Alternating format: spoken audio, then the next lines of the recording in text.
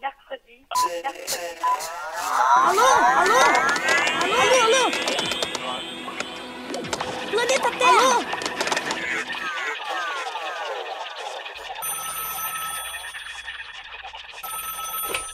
Alô? Alô, alô, seja muito bem-vinda a mais um episódio do Alô Ciência. Eu sou Lucas Andrade. Eu sou o Marcos. Oi, eu sou a Mônica. Como vocês viram, a gente tá com uma convidada que já veio aqui falar sobre neutrinos com a gente e agora voltou porque, né, gostou. É a Mônica Nunes. Oi, Mônica. Oi, pessoas, tudo bom? Então, eu sou a Mônica, eu sou física, né? Eu sou bacharel em física, fiz mestrado e doutorado e agora eu faço pós-doc na área de neutrinos. É, e atração internacional aqui, hein, gente? O passe dela tá caro. Você tá onde agora, Mônica? Tadinha de mim. Eu tô no Fermilab, numa cidadezinha perto de Chicago. Massa. Beleza. E a ideia hoje é falar sobre quais são as menores coisas do mundo. Então, vamos direto para essa pauta sem mais delongas.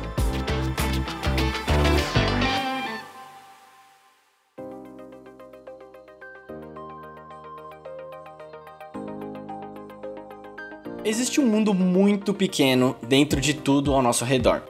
Poético, né? Mas você já parou para pensar nisso? Então eu vou convidar você, que tá escutando a gente agora, você mesmo. Vou pedir para você parar para reparar por um instante ao seu redor. Independentemente de onde você esteja, seja em casa, no carro, no trabalho, no parque, sei lá. Quero que você pare por alguns segundos e tente observar. Qual é a menor coisa que você consegue enxergar nesse seu cenário? Um lápis, uma tampa de caneta, um clipe de papel, talvez? Não, não. Menor ainda. Uma formiga, uma gota d'água? Não, menor ainda.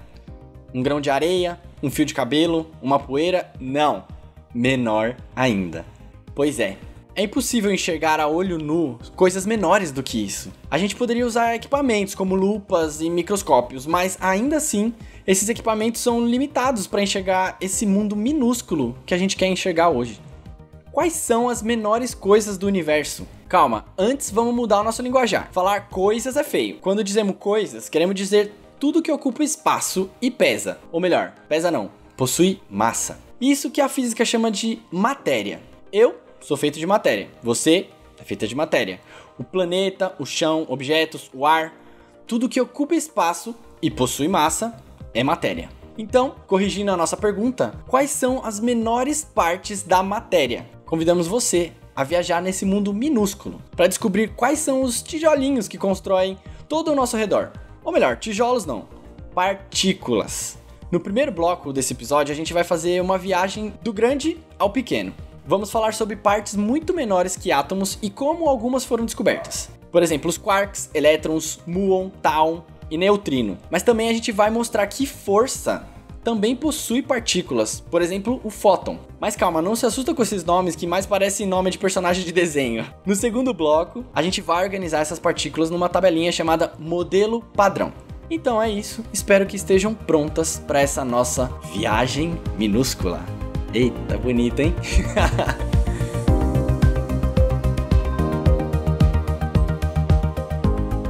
Gente, para começar essa discussão, a gente pediu que algumas pessoas, ouvintes nossos e amigos, respondessem a pergunta: qual é a menor coisa que você conhece?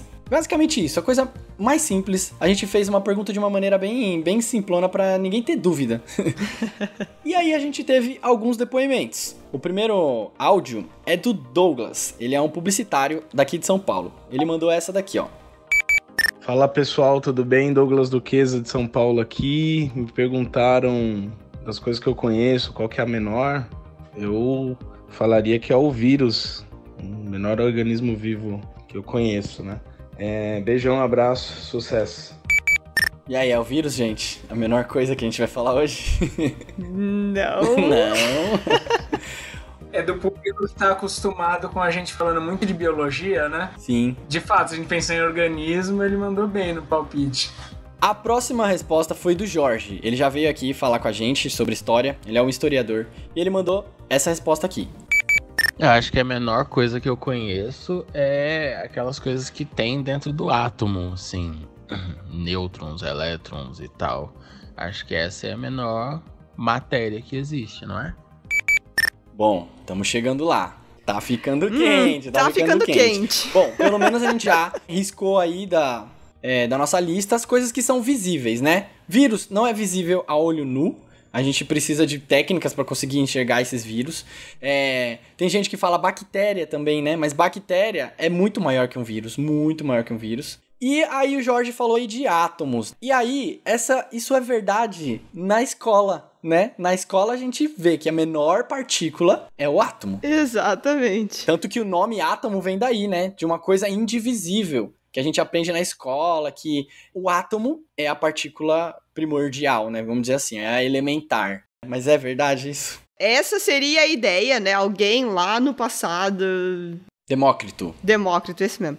Tava falando, né, que justamente, se você for... a ideia dele tava super certa, né? Se você vai dividindo matéria, vai dividindo matéria, vai dividindo matéria, alguma hora você tem que chegar no na menor coisa possível. Naquela época, ele falou, beleza, são os átomos. Mas naquela época, eles tinham ideias totalmente diferentes da gente, né, do que, que é o átomo, né? Então, hoje em dia, a gente tem acesso a muito mais informação sobre o que, que é o átomo de verdade, né? Então, naquela época, ele falou que átomo seria indivisível, o que, né, parecia... A ideia dele parecia certa, né? Você chega uma hora que você não consegue mais dividir as coisas. Só que o que ele chamou de indivisível, a gente hoje sabe que é divisível, que tem muitas partes menores como por exemplo, uma das partes dos átomos foi que esse outro nosso amigo falou dos prótons, nêutrons e tudo mais. Beleza, é onde o Jorge chegou aí, mas aí a gente vai um pouco mais a fundo. Só para dar uma situada também, uma confusão que, pelo menos na escola, né, os alunos fazem muito. Essa questão de escala é muito confusa. Não só para alunos de, de Fundo 2, mas para as pessoas, né? Porque tem um determinado momento que a gente deixa de ver as coisas, então é tudo só muito pequeno, né? Então quando a gente até falaram no áudio anterior do vírus, acho que é legal a gente pensar que o vírus ele é composto por várias coisas. Vou falar de um jeito bem simples, mas tem os tijolinhos dos vírus, as pecinhas que compõem o vírus. Se a gente for diminuindo bem, é, a gente chega nos átomos que compõem o vírus. Na verdade, a gente chega nos átomos, que nem a Mônica falou, a gente chega nos átomos que podem compor qualquer coisa. Eu vejo às vezes essa dificuldade dos alunos. Ah, mas ela tem a célula e o átomo. O que, que é maior? E a célula é infinitamente maior que o átomo, porque no fim das contas tudo é composto pelos átomos, né? E aí é o que a gente está entrando. Os átomos também são compostos por outras coisas, que são essas partículas aí, como vocês tinham falado. Isso. Então, recebemos mais dois áudios de duas professoras. A primeira é a Elba, professora do ensino infantil. Olá, eu sou Elba e me foi perguntado é, qual é a menor coisa que eu conheço, né? Aqui eu conheço, não sei dizer, mas é, que eu já ouvi falar são nanopartículas, eu não sei exatamente o que é, para que serve, mas eu já, já ouvi falar que é bem pequeno isso aí. E agora que, que eu tenho conhecimento mesmo, que eu sei para que serve, acho que está mais ali na linha dos vírus, né? Coisas que a gente consegue ver por microscópio. Agora eu quero ouvir esse podcast para ver o que vai dar. tchau, tchau. Beijão. Ela falou nanopartícula. O que são nanopartículas, Mônica? Nanopartículas são partículas muito pequenas, sim, Exato. né? Na escala nanométrica, né? Pra uhum. quem tá meio perdido com a escala nanométrica, né? Nano, tudo que a gente fala de nano é 10 a menos 9 do metro. É muito pequeno. Mas ainda assim é maior do que as menores coisas que a gente conhece. Então, as nanopartículas, né, elas ainda são 10 vezes maiores, né, mais ou menos que um átomo de hidrogênio, por exemplo, mas né, maior que um átomo. Tá, então ainda não chegamos lá. Mas beleza, é bom, é bom saber esses nomes aí, nano, nanopartículas, a gente às vezes fica confuso. E por último, a Carol, uma apoiadora nossa, pelo apoia.se barra alociência, caso você queira apoiar também. E a Carol mandou o seguinte. Oi, meu nome é Carolina e eu sou professora, eu falo de São Paulo, capital. E na minha opinião, a menor coisa do universo deve ser a partícula que compõe o átomo, né? Então eu lembro que eu aprendi na escola que os átomos são divisíveis, são formados, né, por elétrons, nêutrons, tem mais um, prótons. E eu acredito que essas são as menores coisas do universo. E aí os átomos são compostos por essas micro coisas e os átomos compõem tudo que está à nossa volta. As moléculas, os tecidos, e assim por diante até culminar no universo, nessa coisa gigantesca em expansão. E em perspectiva, acho que a Terra é um átomo quando comparado ao universo, assim como o átomo é minúsculo comparado com o tamanho do nosso corpo, por exemplo. Eu acho que é isso. Uh! Olha, a Carol está bem, tá bem quente. Tá bem quente, né? Então, se eu entendi o que ela falou, o átomo, ele tem as pecinhas dele, então o átomo tem átomos. O átomo tem átomos, né? No sentido da palavra, sim. O átomo tem partes dele. Ela falou, né, dos prótons, dos nêutrons e dos elétrons. Tá quase certo, quase. Tá ficando quente. A gente tem que se preparar já para a Mônica destruir aquele mundo perfeito, onde existia uma partícula que era neutra, uma partícula que era positiva e uma que Né? era negativa. Pronto. Estávamos todos felizes. Nem todo mundo estava feliz, né? Porque mesmo assim na escola ainda conseguia ser muito difícil, né? Mesmo, né, com essa aproximação na escola ainda conseguia, né, fazer a coisa ficar difícil, só que o mundo real É, buraco não, um eu não aceitava isso, porque eu embaixo. falava, o negócio tem mais vazio do que coisa. Sim. Ele- eles são umas bolinhas com outras girando, e aí no meio é vazio. Então eu, estou, eu sou mais vazio do que, do que cheio. Sim. Enfim, não vamos E aí você sobe na pira. balança, tem um número lá que não deveria estar. Exatamente. E a gente chega a prótons, elétrons e nêutrons. Poderia então olhar, por exemplo, para um nêutron e um próton, indo mais além agora, Mônica. E olhar para eles e quebrar eles em pequenas partículas? Tan, tan, tan. Sim, né? Sim, sim, sim. Se eu olhar pro átomo, né, e falar para e falar que prótons, nêutrons e elétrons são as menores coisas, essa pessoa tá um terço certa. Porque os elétrons, sim, são menores coisas. Então, até hoje, a gente não tem nada dentro dos elétrons. Os elétrons são as menores coisas, eles não podem ser divididos. Mas os prótons e os nêutrons, sim, eles têm os constituintes internos ainda, mais internos. Sim. E é muito louco, né? Porque eu tava estudando pra pauta e eu vi que, então, essas partículas que a gente tá falando, que compõem os nêutrons, prótons e outras, né? Elas foram descobertas com técnicas em 1932 a 1942. Quer dizer, deu tempo dessa galera poder falar e, tipo, colocar no material didático. Por que que isso... Ninguém me ensinou isso na escola. Eu ainda tô muito chateado com essa história. Oh, Mas tudo gente. bem. Não fica triste. É que o problema de incluir essas coisas no material didático da escola é que tem muito pano pra manga pra falar, né, da- de sustentar essa história, né? Então tem muita força envolvida, tem muita coisa esquisita que acontece nesse nível subatômico e acho que a gente não teria tempo de cobrir nos materiais didáticos, mas valeria a pena fazer, né, uma observação ali no rodapé e falar, Sim. essas não são as menores coisas. Eu não sei como é que tá material didático hoje, então nem posso falar que, né, não sei como é que eles estão. Então, mas é uma coisa que vale a pena, né, o professor falar em sala de aula, a professora falar, né, que essas não são as menores coisas, existem coisas menores, e etc, etc, etc. Não precisa entrar nos detalhes. Pra entrar nos detalhes, escuta aqui no Alô Ciência, né, ou escuta a gente lá no Physicast, que a gente fala dos detalhes. Exatamente. Aliás, é um bom momento pra gente, pra gente recomendar o Physicast e o SciCast. Eles falaram sobre física de partículas e eles fizeram de uma maneira muito completa. E eu acho que vocês poderiam, assim que terminar de ouvir o nosso, ir lá ouvir o, o podcast deles, porque tá de uma maneira mais completa. Então, eu acho que esse é o momento, Mônica, da gente já falar sobre tamanho, né? A gente tá tentando descobrir o que são essas coisas, as menores partículas. Então, a gente precisa levar em consideração que essas coisas têm tamanhos. Mas chegamos a um nível tão íntimo das partículas que a gente já não pode mais falar de ideia de tamanho. certo? Exatamente, exatamente. Então, tipo, até átomos e etc., núcleos atômicos, a gente consegue medir, a gente consegue mensurar e tudo mais. Mas quando a gente chega em componentes dos núcleons, né? Núcleons é o que a gente chama de prótons e nêutrons. Então, os componentes desses caras, a gente não consegue mais falar de tamanho. Então, pra gente, né, essas partículas, as menores partículas, elas são pontuais. Então, na física e matematicamente, né, essas partículas a gente vai chamar elas de um ponto. Então, os elétrons pra gente, eles são um ponto, e os componentes dos prótons e nêutrons também são pontos. Mas, mas elas têm massa. Mas né, elas Mônica? têm massa, sim. Sim, sim. A gente não mede, mas elas têm massa e massas Sim, diferentes. exatamente. né? E tem carga elétrica também, tem massas diferentes. É uma doideira, gente. Eu ainda fico, né, espantada com esse tanto de coisa que tem aí, porque eu tenho noção que são coisas muito loucas, né? Então, mas é divertido. É doido, mas é divertido.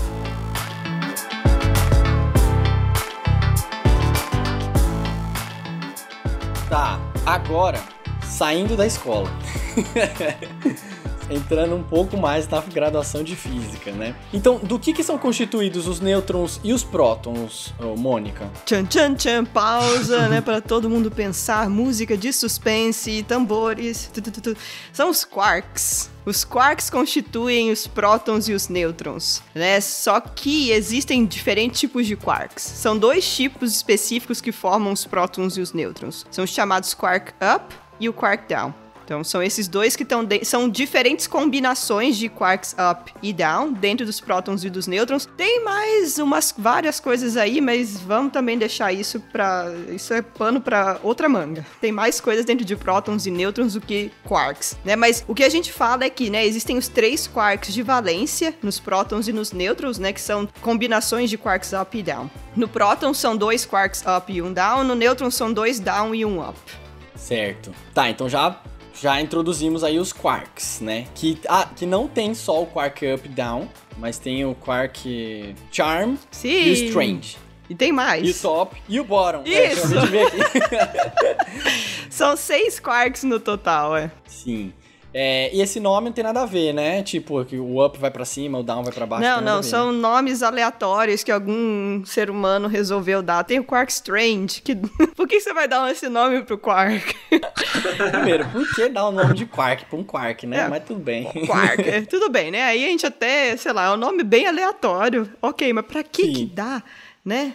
Charm, Strange, Top, Bottom, sabe? Bom, vamos respeitar o ser humano Sim. que resolveu inventar isso, né? Bom, então já quebramos essa ideia, já, já, já pegou o próton, tacou na parede, virou um monte de quark, o nêutron também, certo?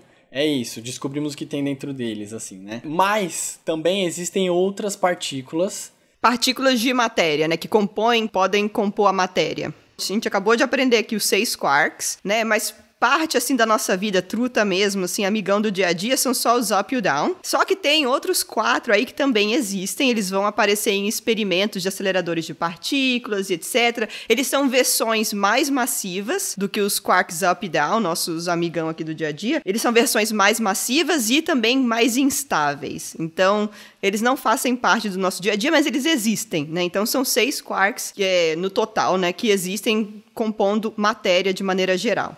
Ah, no átomo não. Os outros não estão no átomo. Os outros são, são versões mais pesadas, mais massivas do que os up e o down. Quer dizer que precisa de mais energia para fazer e mais energia envolvida, né? Então eles vão aparecer em experimentos. Eles, eles são partículas de matérias. Só que eles não estão no átomo. eles compõem outros tipos de partículas. Então, um átomo é composto, né, de próton, nêutron e etc. Só que existem outras partículas que conseguem existir sem ser átomo. E estão nas coisas. Não, não estão nas coisas. Não. Dia a dia é só quark up e down dentro do átomo com os elétrons ali. Isso é o nosso dia a dia, isso é o nosso mundo. Mas em situações mais extremas, né, como por exemplo os aceleradores de partículas, raios cósmicos, né, no universo afora aí existem outras combinações de quarks e das outras partículas elementares que a gente ainda vai falar, que existem não estruturadas em átomos, tipo livres, leves e soltas por aí, por exemplo. Toda a matéria do nosso dia a dia, assim, né, constituintes, toda a matéria organizada é feita de átomos.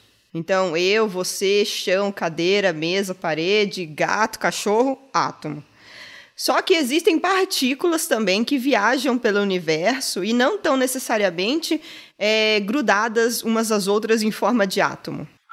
Tá. Essas, esse tipo de partícula vai aparecer na nossa vida, mas de uma maneira mais assim coadjuvante, não não como um microfone feito de um- uma matéria sem átomo, né? Mas essas partículas aparecem na nossa vida, por exemplo, vindo do espaço. Esses raios cósmicos que eu, que eu falei, eles na verdade são partículas, né? Então são partículas que não estão organizadas num átomo, são prótons sozinhos, são é, nêutrons sozinhos, são outras partículas sozinhas que chegam do espaço, elas foram aceleradas por N mecanismos diferentes aí, vieram do espaço de alguma maneira e entraram na nossa atmosfera.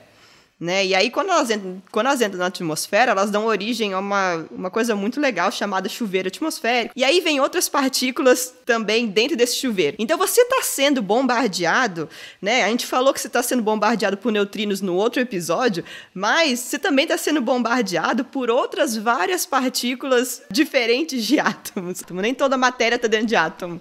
Beleza. Ainda tem outras partículas que a gente vai falar que constituem a matéria e depois as partículas de força, mas por enquanto vamos parar nos quarks, porque eu queria fazer uma pergunta. Como que a gente sabe se essa coisa é tão pequena? Quais tipos de experimentos que são feitos, ou os mais famosos, para a gente descobrir isso? Se a gente não vê, se não tem, se não tem microscópio para ver isso. Eu sei que você falou o acelerador de partículas, e também ouvi falar de um. Máquina de bolha? Câmara de bolhas, câmara de câmara nuvens de bolhas. também. É. Câmara então, de bolhas. São duas coisas diferentes aqui. Então, em aceleradores de partículas, a gente consegue detectar as partículas, mas a gente também consegue formar novas partículas. Por exemplo, o CERN, todo mundo já escutou do CERN, lá em 2012 estava né, super famoso, super pop em todas as mídias por causa do descobrimento do bóson de Higgs, que a gente também vai falar um pouquinho hoje aqui, né? Mas o CERN, né, é um laboratório gigante que fica lá na Europa e eles têm um acelerador de partículas muito louco, muito potente, super, né, que consegue atingir energias assim maravilhosas. E o que acontece? Quando você colide feixes de partículas com energias muito grandes, você, com a colisão dessas partículas, por conta do tanto de energia envolvida, você consegue formar outras partículas também mais pesadas ou né, partículas né, que você não conseguiria formar no dia a dia. Né? Então, são coisas que a gente consegue ver que né, não fazem parte do nosso dia a dia. São os quarks estranhos, os quarks uh, charm, os quarks top, bottom, vão aparecer quando você consegue colidir coisas muito energéticas. Ele é tipo, é tipo uma foto? Então, aí para você momento? enxergar essa gente, você tem que ver os efeitos deles em meios em, em, ambientes, né? Então, partículas carregadas, se elas estão atravessando um meio, elas vão deixar um sinal, por exemplo. Elas podem decair, dando origem a outras partículas mais leves. E aí também a gente consegue ver o sinal disso. Então, a gente consegue ver o efeito dessas partículas em algum meio. Então, por exemplo, lá no CERN, né, no LHC, o, o acelerador, né, o Large Hadron Collider, que você vai colidir essas partículas, você coloca vários detectores de diferentes materiais ao redor, né, da, do ponto onde essas essas colisões vão acontecer e você vê os efeitos dessas partículas quando elas passam por esses outros meios. E aí os efeitos a gente consegue, né, digitalizar e capta o sinal e aí a gente faz as contas todas por aí, né? A câmara de nuvens, a câmara de bolhas também, eles são outro tipo de detector de partículas. É, a câmera de nuvem você pode fazer em casa, é um negócio é, muito vi, divertido. Parece um, parece um bujão de gás é, embrulhado com papel alumínio, né? Ah, não, esse daí é a câmera de bolhas. É, esse daí é a câmera de bolhas, as versões mais bonitonas, assim, são, né, são, são legais. Mas você consegue fazer um jeito muito fácil, assim, essa câmera de nuvens. A câmera de nuvens, vamos lá, receitinha, anota aí a receita. Ah, meu Deus, anota... Mônica, o pessoal vai explodir a casa aí, pelo amor de Deus.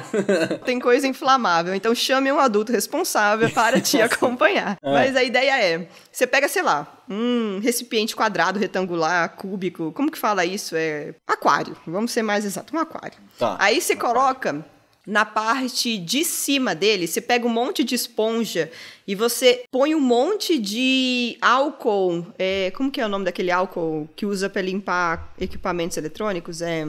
Isopropílico? Isso, esse mesmo. Álcool isopropílico mais puro que você puder, o mais perto de 100% que você encontrar. E molha, né? Faz, faz uma superfície encharcada de álcool isopropílico e põe por cima. Então tá lá o seu aquáriozão, tem uma camada grande de álcool isopropílico em cima, né? Sei lá, na sua esponja, não sei o que lá. Na parte de baixo, você vai colocar esse aquário, tipo, dentro de uma bacia cheia de gelo seco. Gelo seco, eu comprei, eu não sei, eu comprei no Brasil uma vez, eu não sei o quão fácil é de achar, mas na época que eu procurei foi fácil. Então, ah, gelo acho seco. Que é fácil. É. é fácil. Tem muita gente aí que faz festa com gelo seco, efeito de gelo seco. Nossa, gente, a gente queimando a pele aí, meu Deus. Bom. É. Normal, uma festinha saudável. Mas aí você põe assim nas bebidas, fica bonita, né? põe esse aquáriozinho dentro de uma dentro de uma banheira com uma bacia com com gelo seco. Então você quer fazer a parte de baixo ficar muito fria e a parte de cima está encharcada com álcool isopropílico, né? O que, que, vai acontecer? Esse álcool isopropílico vai começar a cair, né? Ele vai chegar perto do fundo, vai estar tá muito frio, ele vai começar a resfriar e vai criar uma região ali perto da, do fundo com uma, uma atmosfera assim bem super saturada. O que acontece? Essa atmosfera ali tá assim, tá na vula ali, ela tá desconfortável. Ela não tá ali tranquilona, ela tá ali sabe, pesadona. E aí quando passam partículas carregadas, né, vindo de raios cósmicos ou vindo de eventos radioativos mesmo aqui na Terra etc. Mas quando vem partículas carregadas e passam por essa atmosfera supersaturada, elas vão deixar um rastro, né? Elas vão ionizando é, átomos e etc. E você consegue ver o rastro dessa partícula dentro da câmara. É uma gracinha. E esses eram os primeiros experimentos de física de partículas, né, que foram feitos. Aí depois esse Sim. negócio foi modernizado. Aí eu vi, eu vi até uma imagem aqui, vou linkar no post, gente, um, um artigo em português aí deles explicando passo a passo aí. De como faz isso? Não, como funciona uma câmera de bolhas, essas mais modernas e grandonas. Não que eu vá fazer, não. Não, mas dá pra fazer, é muito legal, gente. Aí tem que colocar uma lanterna embaixo para você ver. Senão não dá pra ver. Mas é, essa daí, que eu, que eu vi que Do chama BEBC, que é Big European Bubble, Bubble Chamber, é uma, uma câmera gigante, né? Pelo que eu entendi, eles tiram uma foto de todas essas partículas, uma foto de quatro pontos diferentes, né? E depois você tem aí a trajetória dessas partículas, desses íons, histórico dessa ionização. Isso. Íons, para quem não lembra da escola, é átomos carregados, né? É, negativamente ou positivamente, né? E aí você tem um desenho da trajetória. E essa trajetória dá para você ver claramente, assim, que tipo, ele, ele dá uma meia-lua e depois ele vai um pouquinho reto e depois termina numa meia-lua para cima. Aí você fala, meu, é, ele, ele tava numa meia-lua e, tipo, ele do nada começou a ir reto. É porque alguma força ele bateu em alguma coisa no meio do caminho. Tipo uma bola de, de bilhar. Exatamente. E aí, usando cálculos aí, né? Dá pra você entender quais forças estão agindo ali.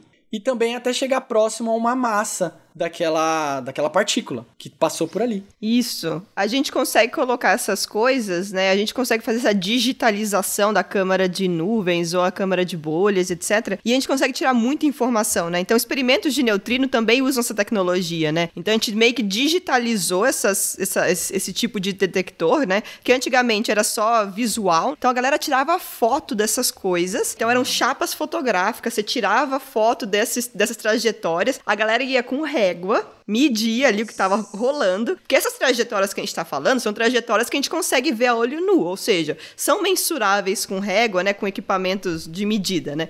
E a galera fazia os cálculos baseado nisso. E aí se você coloca num campo magnético e etc, você consegue ter esses raios de curvatura, então você consegue ver essa meia lua. E aí você tira muita informação, né? Então você vê traços também maiores e traços menores e traços mais grossos, traços mais finos.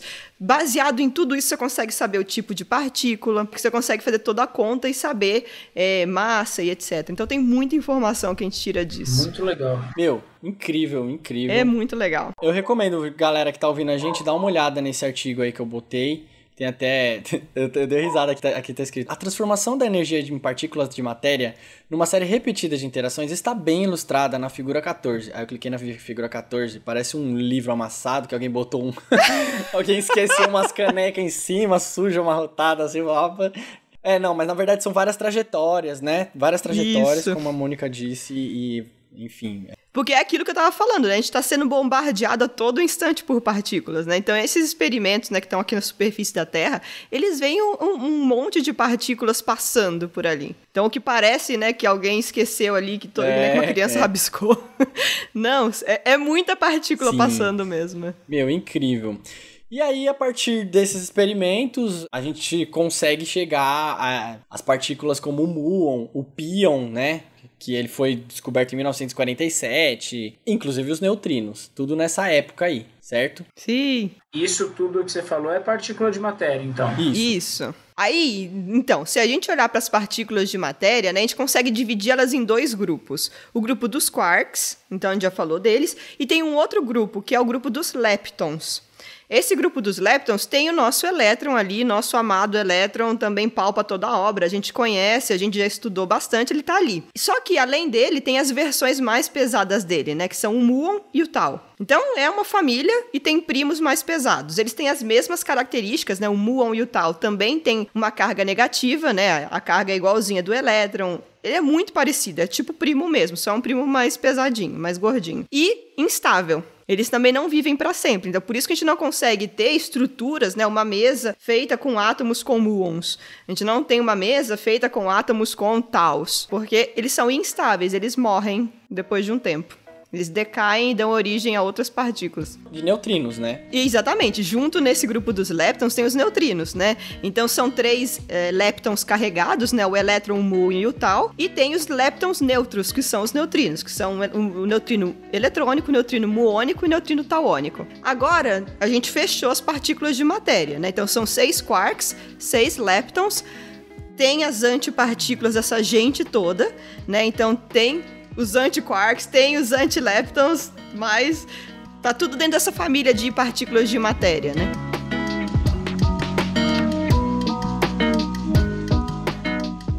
Beleza, você falou que existem partículas de matéria. Pô, mas então existe outro tipo de, de partícula que não seja matéria? Sim. Exatamente, sim, porque se você é ouvinte atento, percebeu que a gente falou que existem partículas de força. Sim, força é partícula. Quando eu li isso, eu fiquei muito em choque. Sim. Como assim, né? Força é partícula, a gente pode afirmar isso. É, tem uma partícula que é tipo o mensa a mensageira da força, né? Força, na verdade, tem um campo envolvido, é, é, o buraco também é mais embaixo, né? Mas, de maneira geral, a gente consegue, né, traduzir a força em uma partícula que é a mensageira dessa força. Então, a força eletromagnética que a gente conhece, etc., né? Tem lá o campo eletromagnético e blá blá blá, mas tem uma partícula que faz a comunicação dessa força eletromagnética, que é o fóton. Tipo, nada mais, nada menos do que luz, né? Luz, se a gente olhar para os pacotinhos de luz, né, a parte quântica da coisa, a gente consegue trazer a luz para os fótons, né? Então, os fótons são as partículazinhas de luz. E os fótons também são né, as partículazinhas mensageiras do campo eletromagnético. E aí também, também, tá ali pau pra toda obra, né? A gente conhece o fóton, tá aí no nosso dia a dia. E ele é uma partículazinha de força. Essas partículazinhas de força a gente chama de bósons, né? Então, elas têm umas características especiais ali, que elas são bósons. E um desses bósons é o fóton, que é o responsável pela força eletromagnética, né? Que é o mensageiro da força eletromagnética. É, a gente imaginar que os quarks, os que a gente falou agora, são, são partículas de de matéria, a gente consegue enxergar, sei lá, bolinhas, né? Agora, partículas de força também são bolinhas. Hum, tá, mas aí, mas aí ela exerce alguma hum. influência na partícula de matéria. É, porque o negócio é o seguinte, quando a gente fala de força na física, né? Então, por exemplo, a gente está acostumado com um elétron com um elétron repele, um elétron com fóton atrai e lá lá lá. Como que o outro elétron sabe que ele tem que ser repulsivo? Como que ele sabe que ele tem que ir pro outro lado? Sei lá. Como que ele sabe que ele tem que ser atraído? Né? Alguém tem que contar para ele, olha, tem o fulano, ele não tem olho, ele não consegue enxergar, né? Alguém tem que contar para ele. Quem vai contar, quem, né, vai contar esse rolê aí, no caso é o fóton. Quando a gente fala, né, sempre de interação entre partículas, né? Então atração, repulsão é, uma, é um tipo de interação. Interação é, na verdade, duas partículas de matéria trocando uma partícula de força. Então é assim que elas sabem. É um telefone sem fio aí que manda uma partícula para lá. Ah, tem que ser repelido. Manda uma partícula para cá, ah, tem que ser atraído, sabe? Esse tipo de coisa. Então, é uma troca de partículas. E são as partículas, são os bósons, são os bósons de força. Cada um está envolvido em uma situação diferente. Ô, Mônica, então, quando a gente cria essa, essa convenção de, de sinais, ah, o que é positivo, o que é negativo, é só um jeito da gente tornar mais gráfico o que é, tipo, feito por algumas partículas sim, de sim, força, sim. por exemplo. Ah, é, exatamente. Eu posso dizer que as partículas de matéria, basicamente, elas vão compor coisas e a forma como elas vão interagir é regrada pelas partículas de força. Essa é a regra, é, é esse o lance do jogo. É isso? Exatamente. Quem toma conta das interações das partículas de matéria são as partículas de força. Perfeito o que você falou. E aí, é, já que a gente falou, né, que a gente pegou o nêutron, tacou na parede e o próton tacou na parede, e vimos que o próton ele tem dois quarks up e um quark down, e o nêutron tem dois quark down e um quark up, beleza. Mas tem uma partícula de força que mantém eles grudadinhos. Não, por acaso, uma partícula que lembra Sim. cola. que é o gluon. Isso! Então, na verdade, existem oito tipos diferentes de gluons. Deixa. Mas a gente vai parar por aqui, porque aí tem, aí tem que estar muito doido também. Mas é aquilo, né? Esses quarks, eles também têm carga elétrica. Os quarks up têm mais dois terços e os quarks down têm menos um terço. É. Como que você faz partículas, né, com mesma carga ficarem juntas, né, dentro de uma partícula? É, é muito doido, né? Então você tem que ter uma partícula, você tem que ter uma força que seja mais forte do que a repulsão entre elas, né? E essa força mais forte que a repulsão entre partículas de mesmo sinal é a força forte, né? A galera criativa, né, dando os nomes assim, força forte, porque ela é forte. E é justamente isso, ela, ela é a mais forte de todas as forças. E ela é responsável por manter né, o núcleo atômico coeso, por manter os quarks juntos dentro de um próton, dentro de um nêutron, né? E o que acontece? Os quarks, eles vão trocar essa partículazinha chamada gluon, né? Então, o gluon é o mediador da força forte, é a partícula que vai comunicar a força forte, e ele vai lá e fica, né, ficam trocando gluons de um lado pro outro, e eles sabem que eles têm que ficar juntos. E só que a gente, a gente nunca fala do- da força forte na escola, né? Porque essas for essa força forte, ela faz sentido só dentro do núcleo atômico. Ela não faz sentido aqui na nossa vida macroscópica. Ela só faz sentido dentro do, do núcleo atômico, por isso que a gente não fala na escola. Mas é justamente, é o gluon que fica ali mantendo essa gente toda grudada, colada, né? Como o próprio nome sugere. E é por isso que é tão difícil quebrar um átomo, quebrar um próton, quebrar um nêutron, né? Exatamente. Pra você fazer isso é muita energia. Aquilo que eu tava falando, aqueles aceleradores, o acelerador né, do CERN, o LHC, ele tem 27 quilômetros de extensão. Pra você conseguir chocar as coisas e quebrar o interior atômico. Então é muita energia que tem que estar envolvida nessa brincadeira, hein? Então, só pra ir fechando já, agora só falar dos bósons, que também são essas forças de partícula. São os bósons W e Z. Esses daí são uns bósons esquisitos, eles vão fazer parte de processos envolvendo a força fraca. Então, tem a força forte, tem a força eletromagnética, tem a força fraca. E esse- esses bósons W+, W- e Z0, né, são três aí, eles vão estar envolvidos em coisas que têm a ver com decaimentos. Então, toda vez que você tem o decaimento de um átomo, toda vez que tem né, a emissão de neutrinos, então toda vez que tem neutrino envolvido ali, vai ter essa força aparecendo, essa força fraca aparecendo, e esses mediadores W+, W- e Z0 aparecendo também. Então tem esses outros bósons aí que aparecem, né? Mas eles estão dentro dos decaimentos aí da força fraca. Beleza. Então fechamos a tabela. Quase. Tem o bóson de Higgs. Ah, é verdade. É verdade. e aí? É, a cere- é a cerejinha, assim, no, no ponto do bolo. A gente não, não tem muito o que falar assim, né? Mas o bóson de Higgs, ele é a partícula responsável por dar massa para as partículas elementares. Não tem mais o que falar sobre né, disso em nível ah, fácil, né? E ele não é mediador de nenhuma força. Ele é então. mediador do campo de Higgs. ele tem um nome especial, tá? É, tem muito mais, tem muito, o buraco é bem mais embaixo, tem bastante coisa legal sobre isso, né? Mas ele é a partícula que vai, né, ser responsável pela massa das partículas elementares. Bom, todas essas partículas que a gente descreveu é o que a gente chama de modelo padrão. Se você jogar no Google modelo padrão tabela, você vai encontrar tipo uma tabela periódica de todas as partículas que a gente falou agora. Então você vai ver as partículas de, tem dois tipos, né? As partículas de matéria e as partículas de forças. As de matéria são os quarks, que são seis quarks, e os leptons, que são elétron, muon, tau, e os três tipos de neutrinos. Beleza? Essas são as matérias, mais conhecido como fermions, né? E também as partículas de mediadoras de forças, que são os fótons, gluon, o bóson Z, o bóson W- e bóson W+, e a partícula de Deus, bóson de Higgs. Isso fecha a tabela da nossa, das nossas partículas. E eu acho que para levantar uma bola aí, para finalizar, a gente falou dessas forças. Força forte, que é mediada pelo gluon, a eletromagnética, que é mediada pela, pelo fóton, a força fraca, que é pelos bósons W e Z. Mas tem uma força que todo mundo conhece, mas ninguém encontrou nenhuma partícula para ela até hoje.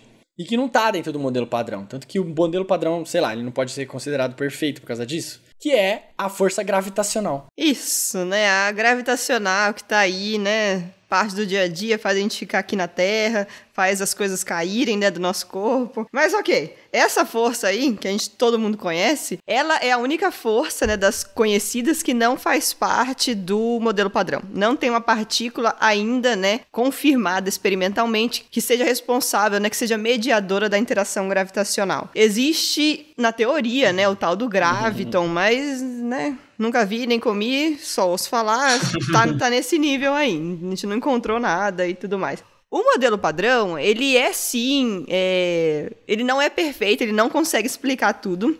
Mas ele é a teoria, tudo que ele explica, ele explica bem. Todas as explicações, todas as previsões que aconteceram no modelo padrão são verificadas, são testadas e olha, testaram, cansaram de testar esse raio desse modelo e tudo foi muito preciso. Todas as previsões vindas do modelo padrão foram muito precisas. Mas ele não consegue explicar tudo, né? Energia, matéria escura, os próprios neutrinos, eles não se encaixam perfeitamente no modelo padrão. Eles têm umas coisas esquisitas aí que, não, que no modelo padrão não dá conta, mas de todo o resto o modelo padrão dá conta, sim. É, e a gravidade também não dá conta, é. Ufa! Ufa! Acho que falamos bastante aqui. Mas tem uma coisa muito legal sobre o modelo padrão, que é assim, você coloca no Google, você vê lá a tabelinha linda do modelo padrão, né? Um trocinho pequenininho, super fofinho. Mas, de verdade, essa é uma equação do tamanho de uma página, uma única linha que começa no começo da página e termina no final da página. Essa linha gigante é o que descreve tudo isso que a gente falou aqui, né? De maneira Sim. bem bonitinha e etc, né? Mas tem muita conta. Tem uma equação que descreve tudo que a gente falou nos últimos 40 minutos. É isso? isso? É, exatamente. Cara, isso é muito louco. Isso mano. é muito louco. Muito bom. Bom, gente, a gente vai parar por aqui no, no, no, assunto, mas a gente recomenda muito, se você quiser aprofundar. O Physicast fizeram um episódio só sobre isso. O SciCast também, um episódio só sobre isso, super didático. E também tem vários links aí para vocês verem. Ah, e o vídeo da Mônica explicando que ela tem um canal. A Mônica é youtuber, tá, gente? Influencer. e lá eu mostro essa equaçãozinha gigante é, procurem aí. lá a física no YouTube. Beleza? Agora a gente vai pro nosso quadro de recomendações, dentro ou fora do nosso tema, chamado Disco de Ouro. Bora lá!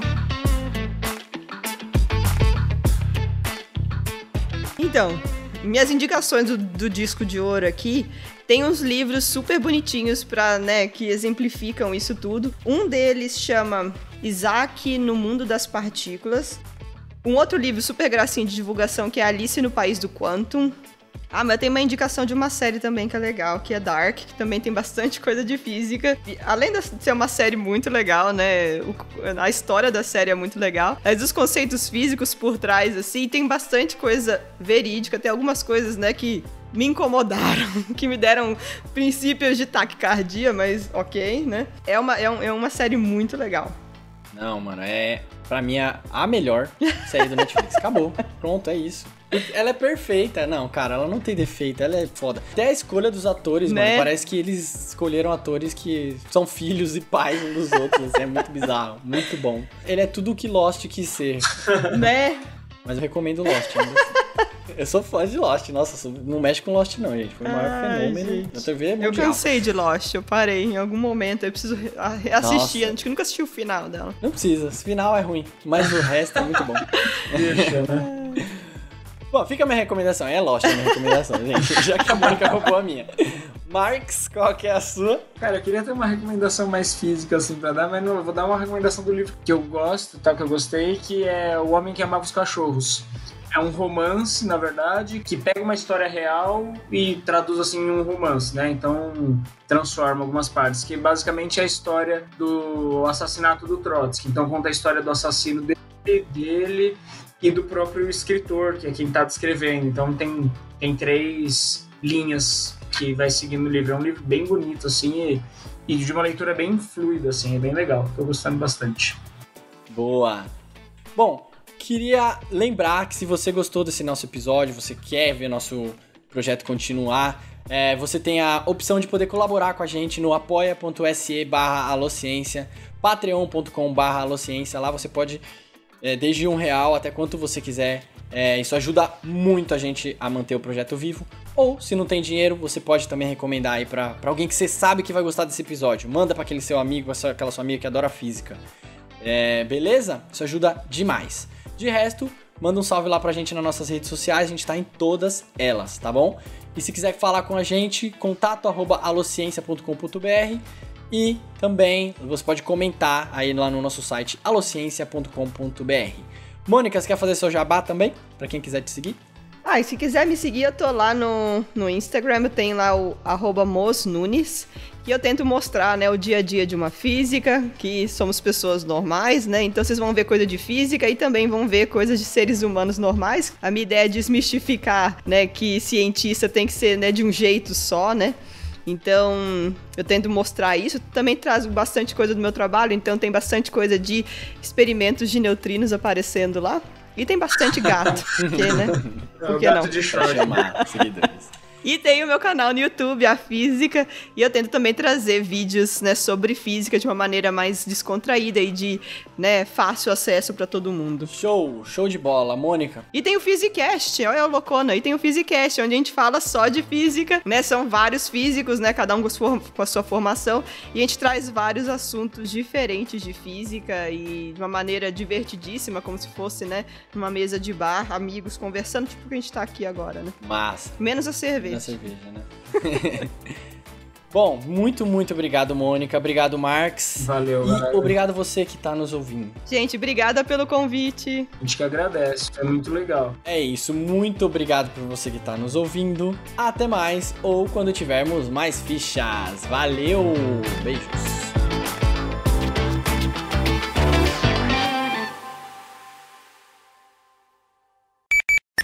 Oi, meu nome é Ricardo e a menor coisa do mundo pra mim é a responsabilidade do Bolsonaro.